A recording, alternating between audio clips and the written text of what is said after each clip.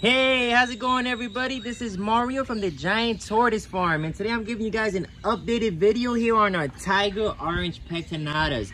So what you're looking at is our orange face spiny tails. They start off as green as babies and as they mature, they slowly get that orange and black coloration.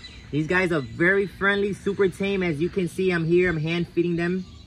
They enjoy mealworms.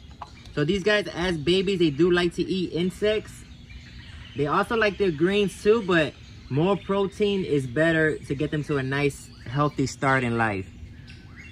These guys are absolutely amazing. They're great pets to bond with. I enjoy spending a lot of time with these guys.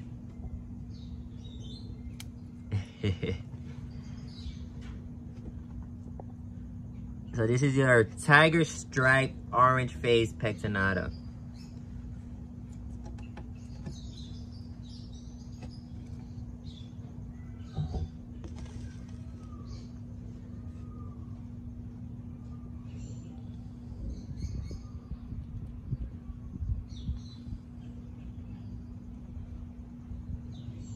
These guys run between 10 to 14 inches. And actually what you're looking at is a pair. This is male and female.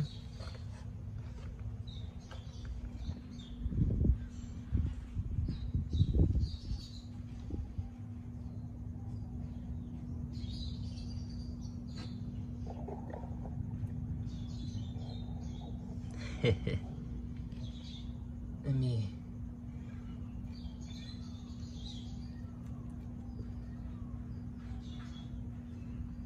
So neat. If you're interested, feel free to let us know. Hope you enjoyed that video, everybody.